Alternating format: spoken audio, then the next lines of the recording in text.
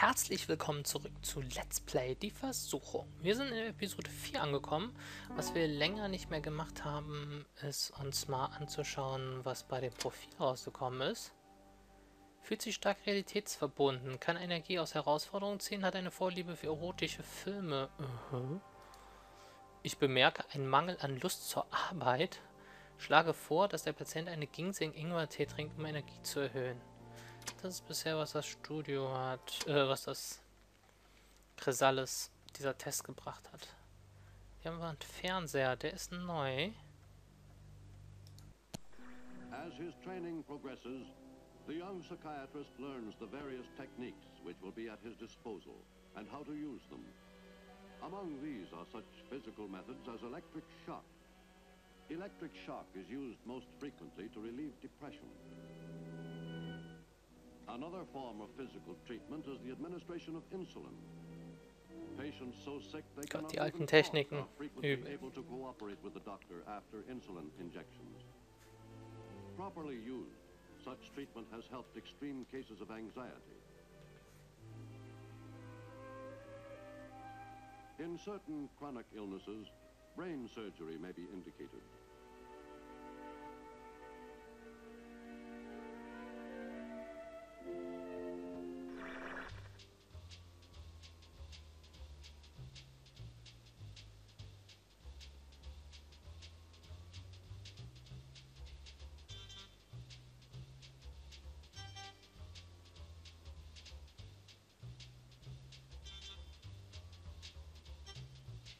Was soll das darstellen?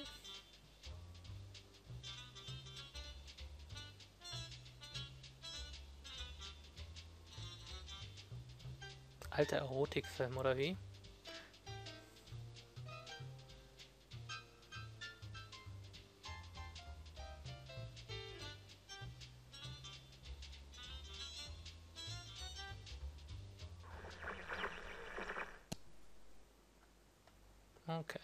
Viel dazu.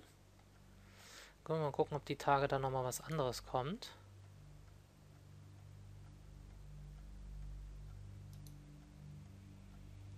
Äh.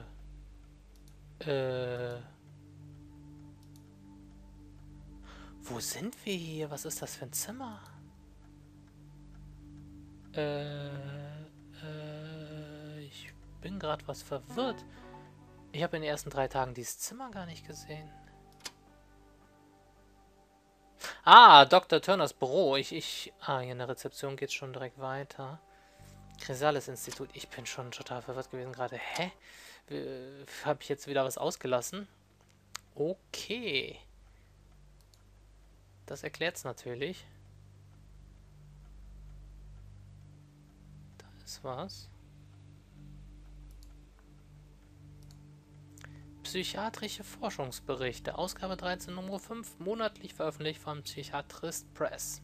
Posttraumatische Belastungsreaktionen, Depression und Hilflosigkeit. Rehabilitationsstrategien Dr. Megan Johnson und Peter Weißel.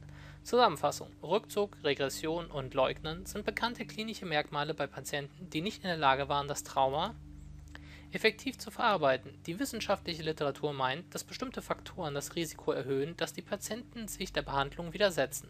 Solche Faktoren können Ehekonflikte, ungelöste Familienprobleme, der Mangel von Freunden und exzessive Medikamentenabhängigkeit sein.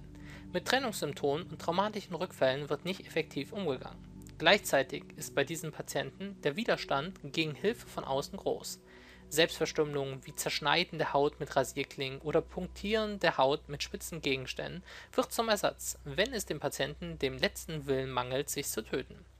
Der Patient, äh, bis der Patient spezifische Aspekte des Traumas unter Anleitung des aufmerksamen Psychotherapeuten sicher erforschen kann, bleibt eine Gefahr für sich und andere. Wenn die Selbstverletzung nicht länger den gewünschten Effekt hat, kann es zu letalen Handlungen äh, kommen meist zu Selbstzerstörung, in seltenen Fällen auch zu Tötungsversuchen anderer Menschen, insbesondere der professionellen Helfer. Vorgehensweisen beim Enthüllen traumatischer Erinnerungen, während Stimmungsüberwachung, Harmonieaufbau und die Anleitungen des Patienten zum Ausdruck spezifischer Symptome zu den üblichen Methoden zählen, haben sich auch weniger übliche therapeutische Eingriffe als hilfreich erwiesen. Obwohl noch im Experimentalstadium hat der Einsatz von Kunst, Meditation, Massage und Homöopathie den Widerstand der Patienten, die unerträgliche Angst, die mit traumatischen Erinnerungen verbunden wird, zu verarbeiten, merklich verringert. Die Ergebnisse einer der extremeren Strategien, nämlich der Patienten einer Nachbildung der traumatischen Situation auszusetzen, konnten nicht überzeugen. Ähnlich wie die Schocktherapie, bei, die bei Phobien angewendet wird, ist die Erfahrung des Patienten ein Friss- oder Stirb-Phänomen. Wenn der Therapeut eine starke Bindung zu dem Patienten aufgebaut hat, kann eine abgestufte Einführung und Wiederherstellung des Traumas ein fruchtbarer Anfang für den Therapeuten bieten. Er dirigiert den Patienten und versucht mit dessen Hilfe, die Illusion so real wie möglich zu gestalten. Viele Patienten mit traumatischen Erinnerungen haben bereits Rollenspiele entwickelt, die sie insgeheim hinter dem Rücken anderer Überlebender spielen. Es ist Aufgabe des Therapeuten, den Fluss des Wiedererlebens zu leiten. Mhm.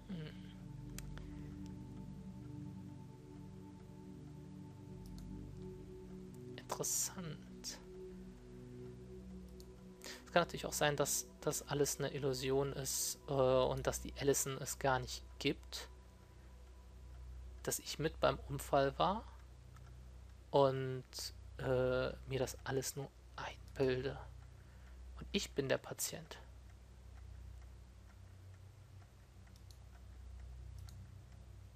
Protokolle von Gesprächen zwischen Alison Overton und Dr. Turner. Okay, Alice Overton, also da hatten die wohl Gespräche. Protokolliert von HM, bla bla bla und so weiter. Alison betritt den Raum und setzt sich mit verschränkten Armen und Beinen auf die Couch. Sie vermeidet Blickkontakt. Hallo, wie geht es Ihnen, Mrs. Overton? Schön, Sie zu sehen. Hallo, Herr Doktor. Nennen Sie mich Cecile. Okay. Darf ich Sie Alison nennen? Ja, warum nicht? Kann ich Ihnen etwas anbieten? Ein Glas Wasser, Saft, Tee? Ich trinke keinen Tee. Ich möchte nichts. Nein, nein, danke. Ich schalte den CD-Player mit der Fernbedienung ein. Die Cellosonate von Brahms. Ich lehne mich zurück und lausche der Musik. Sie erwartet, dass ich sie befrage, aber ich mache nichts. Ich mag dieses Stück. Es erinnert mich an meine Kindheit. Meine Mutter liebte das Cello. Sie hat mich jahrelang Stunden nehmen lassen, aber das war wohl nichts für mich. Meine Mutter. Ja, ihre Mutter? Meine Mutter hat Musik unterrichtet. Wirklich. Sie spielte wunderschön. Was hat sie gespielt? Klavier. Was für Stücke hat sie gespielt? Ich kann mich nicht erinnern. Oh, mm, Ramanov und anderes. Wir hören Brahms zu. Allison lacht. sie mochte auch Country-Musik. Wirklich. Sie hat sie geliebt. Wir haben immer noch ihre alten Platten auf dem Dachboden. Ich kann sie einfach nicht wegwerfen. Meine Frau mag auch Country-Musik. Wir haben getanzt. Allison lacht wieder. Naja, so schlimm hat es auch nicht ausgesehen. Nein, nein. Ich musste nur an Michael denken. Ich wollte ihn auch zum Tanzen bringen. Er bekam einen Anfall. Ich musste meiner Frau gehorchen. Sie hatte mich fest im Griff. Michael hatte trotzdem Spaß, als er erstmals dabei war. Er tanzte wirklich gut. Allison lacht eine Weile. Dann ändert sich langsam ihre Miene und sie schaut auf den Boden. Wären Sie lieber nicht hier? Keine Antwort. Ich weiß, wie schwierig es für Sie sein muss, Allison. Leid ist mir nicht unbekannt. Ich will Ihnen helfen. Ich bin anders als Dr. Canby. Camby, genau. Alonso. Lassen Sie mich Ihnen das beweisen. Ich mochte. Ich mag Dr. Camby nicht. Ich mag ihn auch nicht besonders. Allison lächelt. Es war unglücklich, dass Sie und Camby äh, sich getroffen haben. Aber hier im Chrysalis-Institut handhaben wir die Dinge anders. Erinnern Sie sich daran und wir werden gut miteinander auskommen. Gut, das wäre alles. Ich hoffe, dass Sie das nächste unterbricht mich. Warten Sie, das war's? Ich bin erst seit ein paar Minuten hier. Ich dachte, Sie wollten sich Sie wollten jetzt nicht sprechen. Gibt es etwas, über das Sie reden möchten? Ich weiß nicht. Möchten Sie mich etwas fragen? Sie fragen? Sicher. Fragen Sie ruhig. Okay, woher stammen Sie? Ah, Sie haben meinen Akzent bemerkt. Ich bin in Irland aufgewachsen. Ich bin als junger Mann hierher gekommen, um Arzt zu werden. Wo sind Sie aufgewachsen? In Ohio. Haben Sie Michael dort kennengelernt? Nein, wir trafen uns im College. Wie lange sind Sie jetzt verheiratet? Okay, also auch interessant. Also es scheint wirklich Patientin da gewesen zu sein. Ich wollte wissen, dass ich gerade bei den Overton angekommen bin. Ich teste jetzt mein Modem, um E-Mails von hier zu senden. Aha. Das ist von Dr. Turner. Von der... Catherine. Okay, Catherine Randolph. Ich teste jetzt mein Modem, um E-Mails von hier zu senden und empfangen zu können. Ich werde Ihnen heute noch einmal schreiben. Das Treffen ist sehr gut verlaufen. Sie hat mich sofort ins Herz geschlossen. Die Reise hier war allerdings fürchterlich. Apropos, wie viel darf Ihrer Meinung nach ein Taxi vom Flughafen bis hierher kosten? Danke, das bedeutet eine Menge für mich. Ich habe einen Brief von Dandy bekommen. Wie hat er meine Adresse hier rausgekriegt? Er erschreckt mich nicht. Die einzige Person, die jemals verletzen könnte, ist er selbst. Die er jemals verletzen könnte, ist er selbst. Kennen Sie irgendwelche Psychiater namens Sick? Was bedeutet? Okay, die Kürzel kenne ich auch nie. Keine Ahnung, das ist nicht zu alt. Äh, danke, dass Sie heute angerufen haben. Ich bin froh, dass Sie da sind, um mir Rückent Rückendeckung zu geben. Stellen Sie meine Fähigkeiten in Frage. Das ist doof, dass wir das andere Schreiben nicht lesen können. Ah, da hat er es ja wahrscheinlich erklärt schon. Belustigend ja wahrscheinlich lächeln oder sowas. Ne? Irgendwie sowas wird das wieder sein. Muss man, glaube ich, auch nicht wissen. Da geht's raus. Okay. Ich glaube, das war's.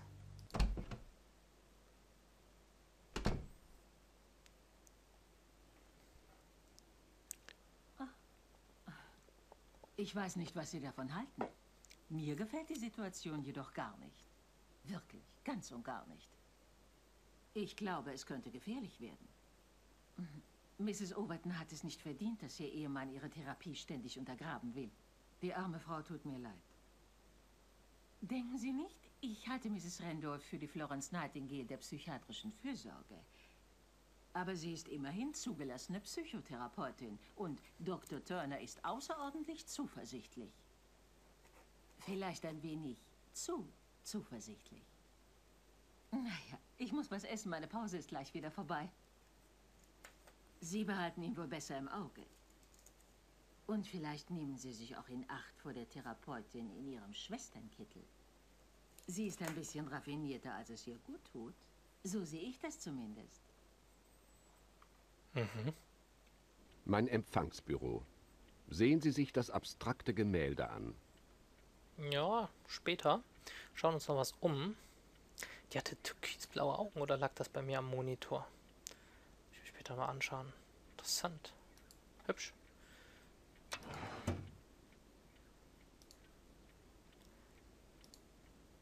Fallnotiz Justin Carter. Aufnahmebesprechung. 15.03.95. Kurzgeschichte. Diese attraktive 26-jährige verheiratete Frau hatte ein fünfjähriges Kind. Sie kam, um sich ein Medikament gegen Depression verschreiben zu lassen. Sie gibt an, seit der Pubertät von Zeit zu Zeit an Depressionen zu leiden. Beschreibt Kindheit mit Eltern, die sich und die Kinder unter Alkoholeinfluss verprügelten. Hat Elternhaus mit 16 verlassen. Lebte bei einer Tante in San Francisco. Erhielt Fachhochschulreife, machte Ausbildung in medizinischer Buchführung und EDV zog 1991 mit ihrem Mann Brandon Carter nach Rook Valley, hat periodisch in kommunalen Krankenhäusern und Privatkliniken im Tal gearbeitet. Seit sieben Jahren verheiratet, eine Tochter Kesslin behauptet, ihr Leben sei sinnlos. Wenn mein Baby irgendwas zustößt, berichtet von vielen äh, medizinischen Notfällen des Kindes seit der Geburt, darunter chronische und schwere Ohrinfektionen, Verdauungsstörungen unbekannten Ursprungs und Atemunregelmäßigkeiten gibt an, ihr Mann unterstütze sie nicht bei der Erziehung der Tochter. Gegenwärtiger äh, Zustand Mrs. Carters Leid scheint durch obsessive Auseinandersetzung mit der Sicherheit und Gesundheit ihrer Tochter und durch die mangelnde Aufmerksamkeit ihres Mannes hervorgerufen zu werden. Sie wurde definitiv, als ich äh, defensiv, ah, ja, ja. Sie wurde defensiv, als ich vorschlug, dass sie zusätzlich zur Medikation ihren Mann mehr in die Erziehung Kesslins einbeziehen solle, um ihren Stress zu reduzieren. Dieser Wandel gebe ihr die Möglichkeit, ihr eigenes Leben zu leben. Das deutet darauf hin, dass der gelegentliche Alkoholmissbrauch ihres Mannes Misstrauen hervorrufen kann. Seine Arbeitswut scheint ihm daran zu hindern, sich im Familienleben zu beteiligen und Anteilnahme an den gesundheitlichen Problemen der Tochter zu zeigen. Kurzfristige Behandlungsziele. Wiedervorstellung in zwei Wochen. Eheberatung bei klinischen Psychologen angezeigt. Ich schlug vor, mit ihr über die Krankheit der Tochter zu reden. Außerdem solle sie ihrer Tochter lieber einen einzelnen Kinderarzt anvertrauen, statt mit ihr von Arzt zu Arzt und Klinik zu Klinik zu laufen. Es mangelt an einer einheitlichen medizinischen Vorgehensweise zur Stärkung der Gesundheit der Tochter. Die Mutter braucht Informationen über typische Kinderkrankheiten und Unterstützung bei dem Umgang mit ihrem Kind im unkritischen Zustand. Symptomatische Muster seit über zwei Jahren tägliche oder fast tägliche Depressionen, kaum Appetit, Ermüdung, zeitweise Schlafstörung bzw. Schlaflosigkeit, Konzentrationsschwierigkeiten, keine manischen Phasen berichtet. Fallnote Justin Carter, 29.03.5. Patient wurde nicht vorstellig. Martin Berg, das ist doch schon wieder jemand Neues. Okay, 96 Aufnahme, Kurzgeschichte. Beide sind frisch gebackene Akademiker und leben seit zwei Jahren zusammen, sind zur Partnerberatung gekommen, nachdem Mrs. Berg Mr. Martin gedroht hatte, ihn ansonsten zu verlassen. Als sie sich kennenlernten, fand sie heraus, dass er Probleme hatte, von Ex-Freundinnen loszukommen. Sie meinte, das hätte sie vorwarnen müssen. Mr. Martin unternahm nicht viel, um sich gegen ihre Vorwürfe zu verteidigen. Sie beschwerte sich über seine Alkoholeskapaden, Partys und seine Versuche, andere zu Orgien, wie sie es nennt, beziehungsweise normalen sexuellen Experimenten für aufgeklärte Paare, wie er es nennt, zu ermutigen. Mrs. Berg möchte eine monogame Beziehung.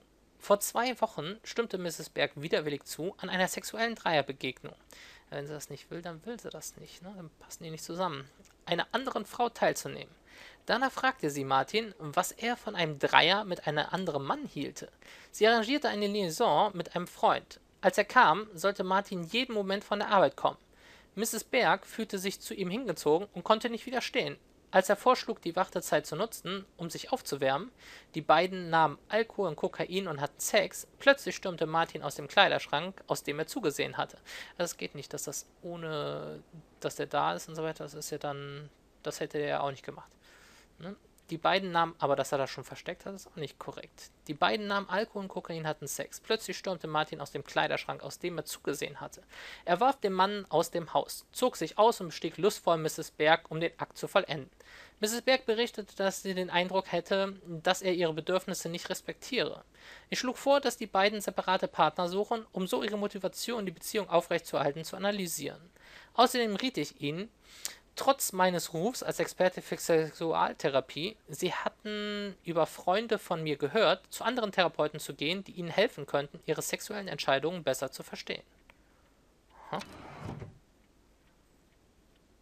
Interessant. Das hatten wir.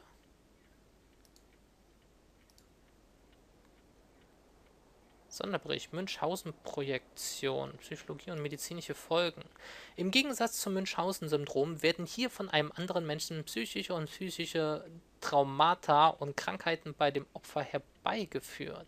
Der Täter übernimmt dann die dramatische Rolle des Retters, indem er das Opfer zwingt, sich zu übergeben oder es in die Notaufnahme eines Krankenhauses zu bringen, wo er das medizinische Personal als sorglos und inkompetent kritisiert.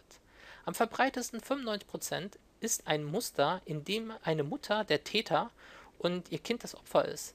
Die psychiatrische und physiologische ähm, Dynamik verlangt von ihrer Mutter, sich mit ihrem Kind zu identifizieren. Oft haben diese Mütter ambivalente Gefühle für ihre Kinder, die häufig im Säuglings- oder Vorschulalter sind. Zu großem Schutzbedürfnis für das Kind, ein geringes Selbstbewusstsein, Ärger und auch eine schwere Psycho pathologische Störung liegen der unbewussten, manchmal bewussten Manipulation der Psyche des Kindes zugrunde. Die Art und der Umfang des Täuschungsnetzes der Täterin, in das sie Kind und medizinisches Personal verwickelt, wird durch, nur durch ihre medizinische und kreativen Fähigkeiten begrenzt eingreifende Taktiken, wie dem Kind Schlaf zu entziehen, es zu zwingen, Gift zu nehmen oder ihm Kot und Alkohol in die Venen zu injizieren, können mit weniger invasiven einhergehen. Okay. Dem Klinikpersonal kann eine dicke Akte mit vorherigen Erkrankungen und Verletzungen gegeben werden. Den Vätern sind die Aktivität der Mütter regelmäßig unbekannt oder sie wurden gezwungen, der Mutter die Sorge für das Wohl des Kindes und alle betreffenden Entscheidungen zu überlassen.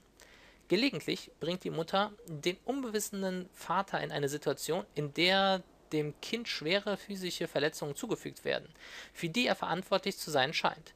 Die Mutter erhält dann nicht nur verstärkte Aufmerksamkeit des Klinikpersonals, sie vergrößert auch die Distanz zwischen dem Vater und dem Kind. Der Vater erscheint so zumindest als verantwortungslos. Wenn er eine potenzielle Neigung zum Missbrauch von Drogen oder Alkohol hat, könnte die Mutter ihn ermutigen und seine Selbstkontrolle untergraben, indem sie den Missbrauch toleriert oder sogar bewusst fördert. Die wahre Natur dieser relativ seltenen Form des Kindermissbrauchs ist das zwanghafte Bedürfnis der Mutter nach Aufmerksamkeit. Häufig ist eine der Motivationen solcher Mütter, ihre symbiotische Beziehung zu verstärken, eine Kindheit voller Vernachlässigung und physischer und emotionaler Schläge durch andere Familienmitglieder. Eine frühzeitige Entdeckung kann dieses, äh, dieses möglicherweise tödlichen Kreis durch äh, diesen möglicherweise tödlichen Kreis zerbrechen. Die Versetzung des Kindes in eine andere Umgebung außerhalb des Einflussbereiches der Mutter kann eine fast sofortige Beendigung der Symptome des Kindes mit sich bringen. Haben wir noch was ausgelassen? Da sollen wir hin, okay. Raus geht's nicht. Dann war's das. Da haben wir nur noch den Ted. Den machen wir aber gleich. Bis demnächst. Euer Chojin.